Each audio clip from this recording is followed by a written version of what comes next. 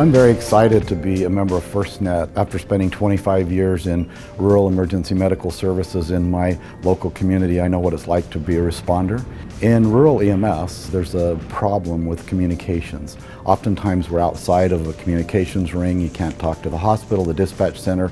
So a lot of what we do is on standing orders where you have a physician give you orders to do certain things. FirstNet's going to open it up to where we'll be able to get in direct communication with our medical control, our hospitals, and be able to give a better situational awareness. I'm really excited about the future of telehealth in emergency medical services. Also, it's a great cost savings to Americans because they don't have to go to a trauma center that might be hundreds and hundreds of miles away and they'll cut their costs and their expense where they can stay at their local hospital or patient receiving facility.